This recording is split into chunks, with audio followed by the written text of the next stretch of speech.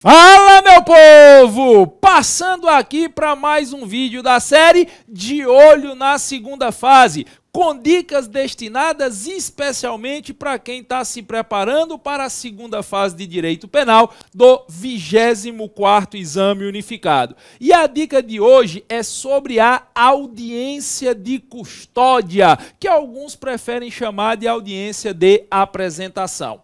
O indivíduo que foi capturado em flagrante delito após a lavratura do APFD, o auto de prisão em flagrante delito, e a satisfação das devidas formalidades, deverá ser encaminhado à presença do juiz para a realização da audiência de custódia. E o que é que o magistrado pode decidir nesta audiência? O juiz pode Primeiro, avaliar que o flagrante foi ilegal, que a prisão em flagrante goza de ilegalidade material ou formal, oportunidade em que deverá o juiz relaxar de ofício a prisão. Então, a primeira hipótese na audiência de custódia é: o juiz entende que o flagrante é ilegal e relaxa a prisão.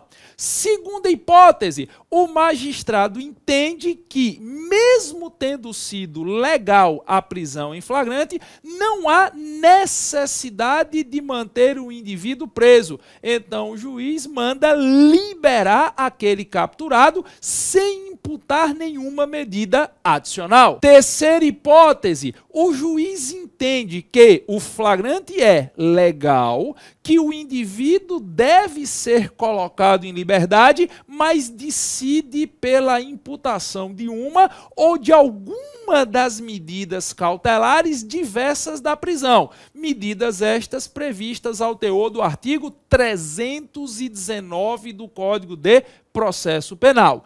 E, por fim, a quarta hipótese é o juiz entender que aquele indivíduo que foi preso em flagrante precisa continuar no cárcere. E aí o que é que ele faz? Ele converte a prisão em flagrante em prisão preventiva.